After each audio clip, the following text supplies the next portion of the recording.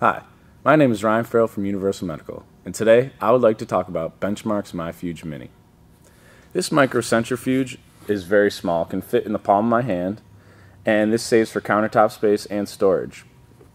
Despite its small size, it has a 6,000 RPM with a 2,000 G-force, and it's pretty quiet. Just a faint hum. If you have about five of these going at the same time, you're not going to really hear it. Now, safety feature benchmark included is in the lid. If I pop the lid during operation, the centrifuge will shut off.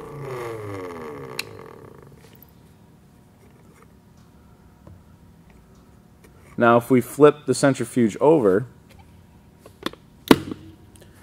you'll see a little storage compartment. This is for the Allen key and the PCR strip rotor. This is a nice little feature because how many times have we lost rotors in the lab and we spent hours looking for them or spending more money buying new rotors?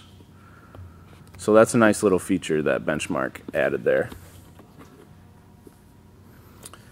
For around $200, uh, this is a nice little microcentrifuge and it comes in five different colors and I think it's really nice to have for quick, easy spin downs in the lab. If you guys have any more questions or comments, feel free to comment on our comments section, and we'll get back to you as soon as we can. Thanks.